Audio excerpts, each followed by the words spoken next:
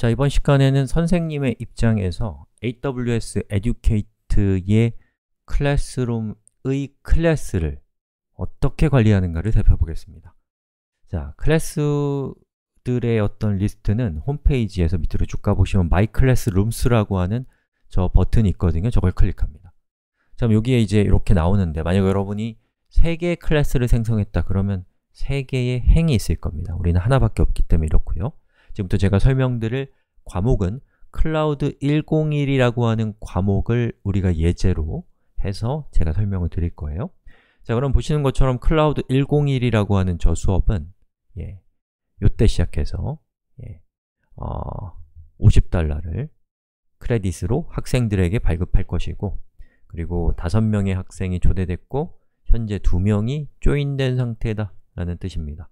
그리고 여기에 이렇게 파란색 버튼이 생긴 것은 승인이 됐단 뜻이죠. 자, Go to classroom을 클릭합니다. 그리고 Continue 버튼을 누르면 Vocareum이라고 하는 서비스로 이동을 이제 하게 됩니다. 그러면 이제 요거는 뭐냐면 지금 제가 선택한 클라우드 101이라고 하는 클래스의 관리 화면이에요. 그 중에서 여러분이 우선적으로 관심을 가질 만한 부분은 Analytics, 분석이라고 하는 부분에 Account, 즉 학생들 계정에 대한 분석이라고 하는 메뉴로 들어가시면 이렇게 생긴 화면이 뜹니다. 자, 그럼 여기에 각각의 학생별로 현재 상태가 어떤지 그리고 credit은 얼마나 남아있는지 이러한 정보를 보여주는 화면이에요. 예, 이걸 통해서 여러분이 학생들을 관리할 수가 있고요.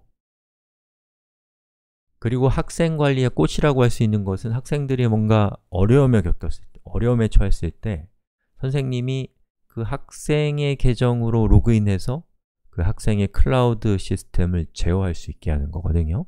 자, 그럼 어떻게 하면 되냐면 어, 이전 화면으로 돌아가요. 대시보드를 클릭하셔도 되고요. 그럼 여기에 보면은 음, 클릭 리스트가 있잖아요. 제가 예를 들면 동칸이라고 하는 학생 을 도와주고 싶다. 그럼 이렇게 선택을 한 다음에 Work Area라고 하는 버튼을 클릭합니다.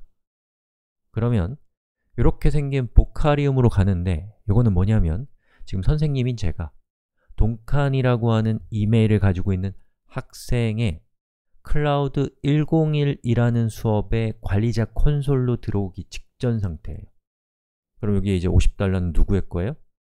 어, 동칸이라는 학생의 클라우드 101에 대한 credit이 50달러가 남아있다는 뜻이고 여기 있는 AWS 콘솔 버튼을 누르면 저것은 이 학생의 클라우드 콘솔로 여러분이 로그인을 하는 겁니다. 그럼 여기에서 여러분은 그 학생이 되어서 그 학생의 콘솔을 마음대로 조작할 수 있어요. 당연히 이것은 이 클래스에 대해서만 가능한 일이고요. 학생의 다른 클라우드 콘솔에 접속해서 어떤 일을 하는 것은 당연히 안 되는 거죠. 자, 그리고 마지막으로 소개해 드릴 것은 이제 학생들이 나중에 추가될 수도 있고 중간에 이제 학생이 어, 수업에 참여하지 않게 되는 경우도 있을 수 있잖아요.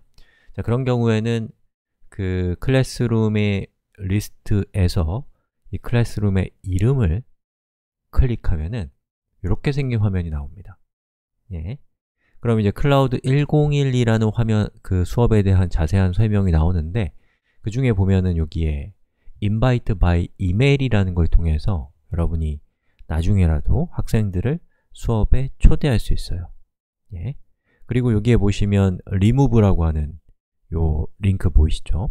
저기 있는 저 링크를 클릭하는 걸 통해서 어떤 특정 학생을 이 클래스에서 제외하는 것도 가능하다는 것도 좀 알아두시면 좋을 것 같습니다. 자, 이렇게 해서 AWS Educate의 클래스룸에서 학생을 관리하는 방법을 살펴봤습니다.